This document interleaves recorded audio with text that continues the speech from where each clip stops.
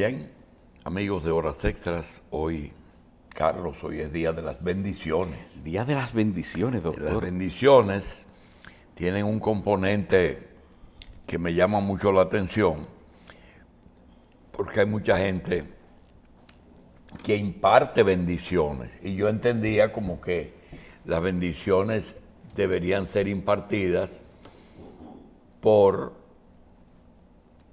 o autoridades eclesiásticas, eh, eh, sacerdotes, Sí, pastores, sí.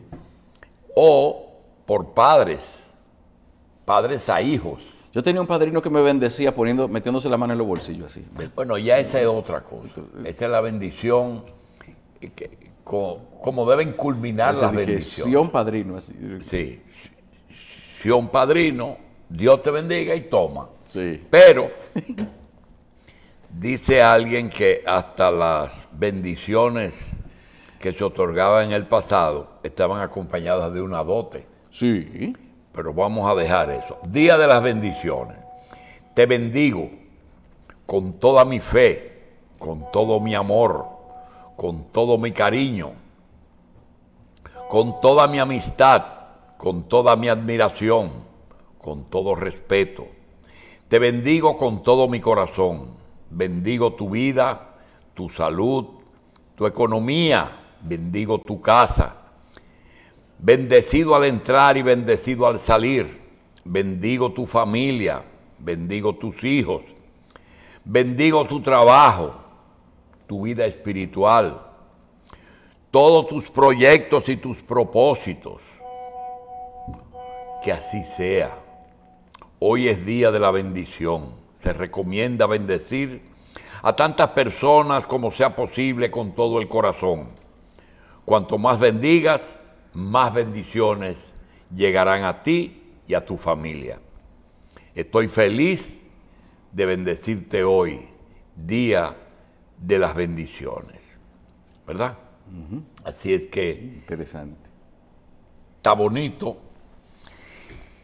pero está un poquito fuera de época porque el ser humano ahora no es tan, como tan condescendiente. Mire, yo creo que antes de una persona decirle te bendigo, Dios te bendiga y cosas así, como que debe reflexionar un poco acerca del verdadero significado y de la grandeza de lo que está diciendo, porque en alguna y que cuando lo diga, que lo diga de corazón, que lo diga así realmente sintiéndolo y teniendo la idea real de qué es lo que está deseando para esa persona.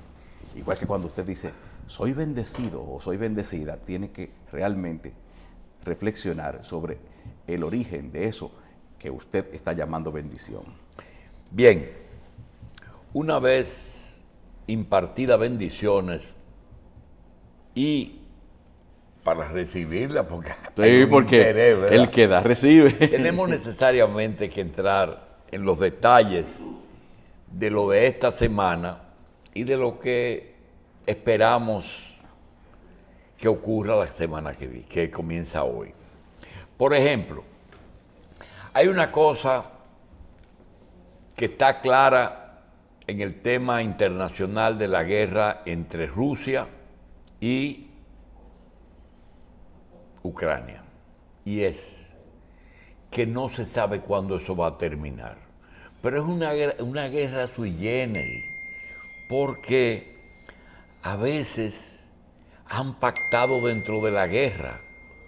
Por ejemplo, se sacó bandera blanca con el tema de sacar millones de toneladas de granos De permitir el de comercio. permitir el comercio. Entonces, ¿qué, qué sé yo? Me parece como, como el- la escena del chavo del ocho que te pasa la mano por la cabeza, te peina y después de la y gallega. después te da el golpe, o al revés. Entonces, eso trajo. Pero hay una cosa, eso está establecido. Lo otro que está ya firme es que hay dos bloques en el mundo. Lo mismo que ocurrió en la Segunda Guerra Mundial, de Alemania, Italia y Japón se constituyeron en el eje Berlín, Roma, Tokio. Hoy tenemos la OTAN con los aliados y por otro lado Rusia, China, Irán y Corea del Norte. Eso ya es un bloque y por otro lado no tiene fecha ni condiciones que uno vea venir para finalizar ese conflicto, que nos afectó y sigue afectando a muchas áreas en el mundo.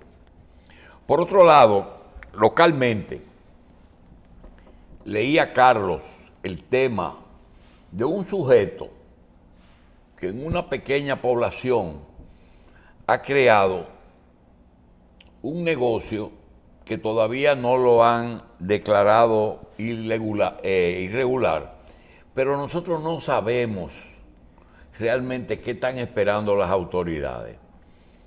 No se trata de que lo que esté haciendo es legal o no, porque toda institución intermediaria tiene que estar regulada.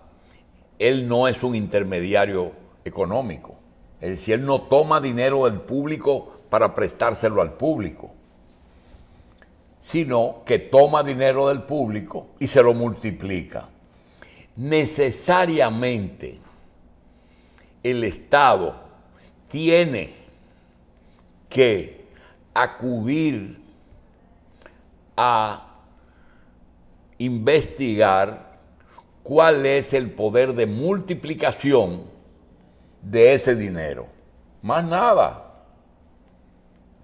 Tiene que investigarlo, pero no investigarlo a través de organismos de seguridad del Estado, como decía Carlos y, y los grandes. No, no, no.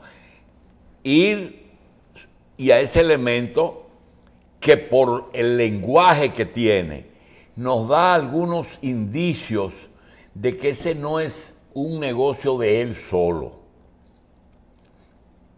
Decíamos ahorita en, la, en el tema de las bendiciones que decíamos Carlos y yo fuera de cámara, que cuando te dicen que Dios te lo pague, a veces te dicen que Dios te lo pague en Bitcoin o en moneda digital. Pero eso también produce multiplicación de bienes. Entonces, estamos en un momento en que hay que hablar claro. Si se está tomando dinero de las personas en este momento y se lo están multiplicando en una forma poco común, hay que esperar que eso fracase, porque no es posible. Eso no es viable. Decía, hablaban de que de la decía centrífuga. Escuder en uno de sus programas, de sus exposiciones, que, que, todo eso está muy bien, que no es, que es legal, que, pero que hay que ver cuál es el método que él tiene para la multiplicación, que es no viable. Sencillamente él tiene que decir, ese es un milagro. La forma en que él está eh, multiplicando el dinero. Y eso es todo. Eh, tenemos el Albert, él dice, ustedes ya tienen el Albert Einstein. Ese tipo con ese lenguaje está hablando de Einstein. Ese tipo tiene una organización que se llama 3.14. 3.14 es el pi. Sí. Y yo voy a decirte, tiene que tener a alguien atrás. ¿Verdad? Y eso es sin ninguna vuelta, eso hay que investigarlo. Otro tema es que el, tema de las bancas de la lotería no se ha resuelto. Kiko Tabar y la comisión nombrada por el Estado están luchando con esa gente porque hay problemas. Recuerden que nadie sabía ni sabe todavía bajo qué predicamento el antiguo administrador de la lotería y primer administrador de este gobierno llegó al cargo y está preso. Entonces, ese es un pedazo de la historia que el país necesita saber. Muy bien, tuvieron que acudir a Kiko pero ¿quién es este hombre y cómo llegó y por qué llegó. Es verdad. Eh, no, porque era un militante político, pero un militante político que a la vez era banquero de lo que él fue a dirigir. Sí, ¿Eh? sí, es cierto. Y está preso. Y puso ciego a hacer cosas. Y, y fue que denunció, porque inclusive fue que denunció el tema. Sí. Es decir, Incluso que- Ki- Kiko tuvo que meter un oftalmólogo en la comisión. De, Lo primero. Sí. Entonces, sí, porque puso a Valle, puso a Juan Valle, Sí, un Que oftalmólogo. verificara si realmente eran ciegos los que sacaban la bola. Eh, cuando tú ves eso y tú te vas a la- al Congreso y ves que hay diputados que son banqueros y que le deben a la lotería. Y en la carta de Kiko dice, ustedes deben y no quieren pagar impuestos. Y- Entonces, eh, yo creo que el tema lotería es un tema que no te pueden ver, eso está como la guerra de Ucrania, que no te pueden decir, ah, hoy se acabó, muy bien se acabó, pero ¿por qué se, se realizó? Entonces, ¿quién es el Putin de esa guerra, de la lotería? ¿Quién es el bueno y quién es el malo? Entonces, ese tema de que después los, los, diputados piden organizar las bancas después de- del informe de, de Kiko Tabar, que no tiene ningún, ningún tipo de, de empacho en decirle la verdad. Lo que pasa es esto, esto y esto. Hagan lo que quieran. Porque el asunto es que esa gente tiene poder político y económico. Están en el Congreso. Nuestro Congreso tiene un alto porcentaje de personas que jamás debieron ser miembros del Poder Legislativo. Y lo son. Y ahora están trazando normas que habría que ver. Inclusive, en ese caso, se está protegiendo a los cabecillas. Fíjense bien, está todo en investigación. Está todo en investigación. Pero los cabecillas se han dejado fuera. Hay historias de personas que están ahí que yo les digo, como no tengo la prueba, no les puedo decir los nombres, pero se lo puedo jurar. qui- ¿Quiénes son? Entonces, ese problema es un problema que no está resuelto y es un problema muy, muy, muy serio, más de lo que todo el mundo se imagina. Otro tema es que en estas investigaciones, tanto del caso de la lotería como de los casos de compras y contrataciones y de pagos que están pendientes de juicio, hay un problema que la presidenta del Consejo Directivo de la Comisión de la Defensa de la Competencia, Procompetencia, aseguró que el fenómeno de la colusión representa una trama conspirativa contra la libre y leal competencia entre los operadores económicos de mercado.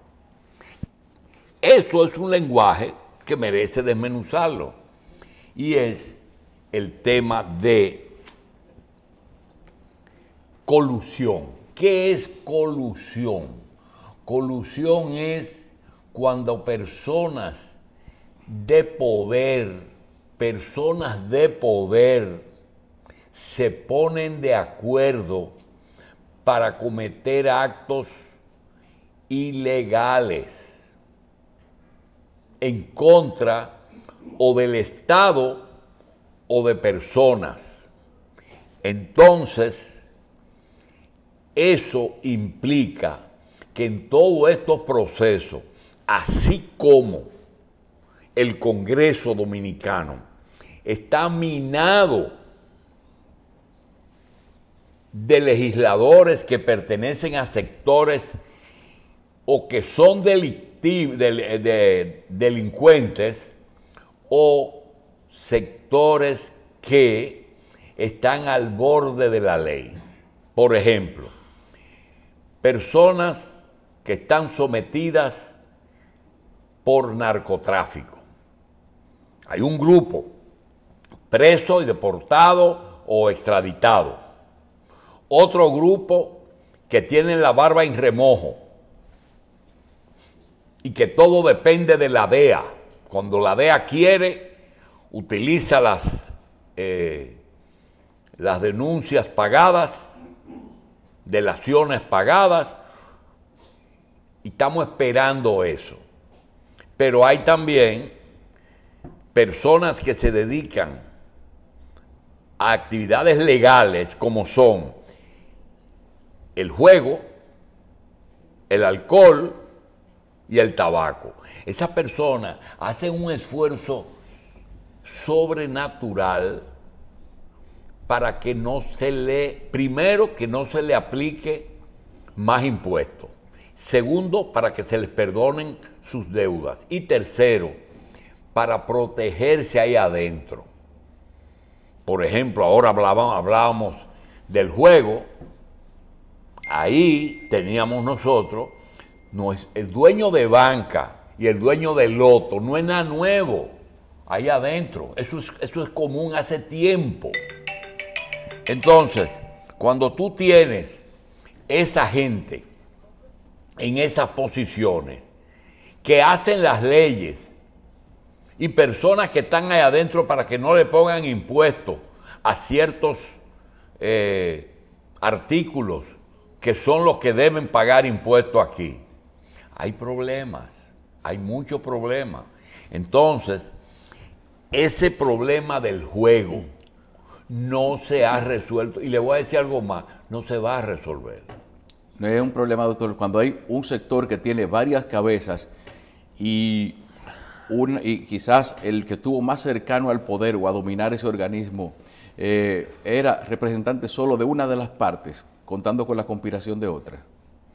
Sí, lo que pasa es que cuando tienen varias cabezas, el interés es común, como decía Kiko. Porque si tú coges el administrador que lo fue destituido, él representaba un sector de la banca de juego y perjudicó al otro sector. Eso fue. ¿Entiendes? Entonces, estos son problemas que afectan. ¿Por qué? Señores, porque aquí hay cosas que usted no se imagine. Mire, aquí, esta semana se reunió, la semana pasada se reunió el gobernador con los dueños de la cervecería. Los dueños de la cervecería son brasileños que compraron la cervecería nacional dominicana. Han traído una docena de marcas de cerveza y, ellos hablan con el gobernador, pero no hablaron con el ministro de Agricultura porque quieren sembrar maíz para producir la cerveza. En vez de cebada, producirla de otro, de otro eh, cereal. Y esta semana el gobernador del Banco Central se reúne con los empresarios, con el CONEP. Entonces yo pregunto, ¿qué querían la gente de la cervecería? ¿Preguntarle al Banco Central dónde invertir su dinero o preguntarle al Banco Central cómo repatriar sus beneficios? Porque para los que no lo saben, la venta de cerveza no bajó aquí. Lo que bajó fue la venta de cerveza presidente porque la sustituyeron Ay, tú vas a los sitios y ves como el, el esnovismo es pedir cervezas de otra marca, que son de ellos y que posiblemente la fabriquen aquí. Ese problema de esos inversionistas que tienen representantes en el Congreso. Cuando vino la presidente Light que quiere decir menos alcohol, ¿verdad? Sí. Se hicieron manejos para que esa cerveza pagara menos impuestos que la otra. Porque el impuesto estaba basado en el grado de alcohol. Entonces, el Estado se perjudicó. Se está vendiendo más cerveza, pero también se está jugando más. Aquí se juega, eso no tiene, mientras peor está la situación, mayor es la esperanza de la gente de, ganar dinero en el juego. Y ese es un, esos son mundos que eh, el presupuesto nacional le queda pequeño. Ustedes no se imaginan la cantidad de dinero que se mueve en esas áreas y la cantidad de dinero que esa gente mueve en la política. Porque no es solamente que le den un aporte a un candidato presidencial, no, no le podemos cargar el dado, sino que ellos cogen todos los candidatos a cargos selectivos para meterlos en el Congreso.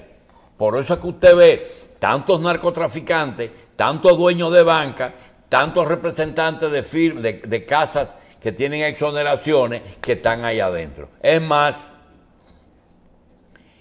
los que están libres de pecado no son tan pocos que es un porcentaje pequeño, pero no es que estén 100% libres. Ellos tienen que decir cómo ellos evaden su entorno, cómo ellos lograron ser legisladores sin ser financiados por esos sectores. Ese problema es muy, muy complicado, sobre todo cuando vienen proyectos, proyectos ¿Cuántos proyectos de nación hay? Lo que somete el Poder Ejecutivo, el presupuesto. ¿Cuántos proyectos de, de interés de un legislador para su provincia? Muy pocos. Son proyectos individuales que yo nada más voy a hacer una pregunta. Usted me va a decir a mí que aquí se aprobó un contrato con una minera para que no lean y que no le dieron dinero para que no lean. Porque también usted no le puede faltar el respeto a la inteligencia de los otros. Ah, no, eso, eso está. Todo lo que se hace ahí se paga con algo. Los más sanos, los más sanos, lo que hacen es que van y buscan al, al funcionario y le dicen, mire, yo quiero que usted me arregle un problema que hay en mi provincia. Eso es lo, más sano que hay ahí. Entonces, ese problema del juego y como está ese Congreso, eso es un problema que no se va a resolver. bueno, otro, otro los médicos están marchando. No quieren AFP ni ARS. Nosotros no vamos a abundar en ese tema porque nosotros somos graduados, no médicos, no graduados en medicina. Pero yo le voy a preguntar una cosa a esos que están protestando. La Asociación Médica tiene una ARS para los médicos y los maestros tienen una ARS para los maestros. Y esas dos ARS están funcionando. Son un ejemplo de cómo, ser, cómo son las ARS. Sencillamente, pregúntele a los médicos si su ARS les resuelve los problemas a los médicos no quiero entrar más, y si protegen las pensiones, las jubilaciones, las AFP. Porque es muy fácil decir, vamos a, eliminar eso, sí, pero ¿cuál es la alternativa? Si tú a lo tuyo no lo, ordenaste, ¿cómo tú pretendes ordenar el resto? Eh, hay una, algo que hablamos hace un rato, de que es difícil combatir la corrupción cuando estamentos de poder están involucrados. ¿Cómo usted puede hablar de combatir la corrupción y la delincuencia si en el poder legislativo la mayoría lo son? ¿Cómo usted puede combatir la corrupción en, compras y contrataciones si el sector económico principal se ha visto involucrado en esas anomalías. No se puede, no se puede tocar esa tecla.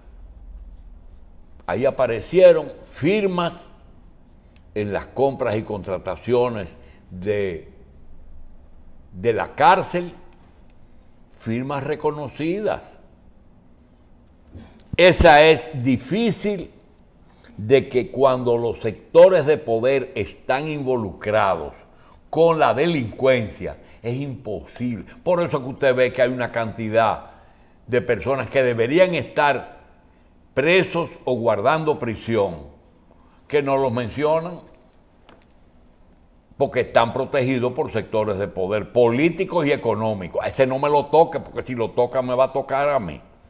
Otra cosa, yo quisiera decir que hoy Brasil va a elegir su presidente. Todas las encuestadoras que nunca se equivocan en la última encuesta dicen lo siguiente, que el, el expresidente Lula va a ganar el mayor porcentaje de votantes, pero que no va a lograr ganar en primera vuelta y que Bolsonaro puede quedar en segundo, muy lejos de él. Puede haber un milagro, puede haber un milagro, pero la realidad es que Lula tiene mayoría de los votantes en Brasil. La derecha en América Latina se ha empeñado, como en Brasil, en sustituir aquellos gobiernos de izquierda que han surgido. Y, por ejemplo, en el caso de Colombia, que es la más reciente, oigan cómo califica el periódico Nuevo Herald al presidente Petro, para que se vea cómo es visto por la derecha.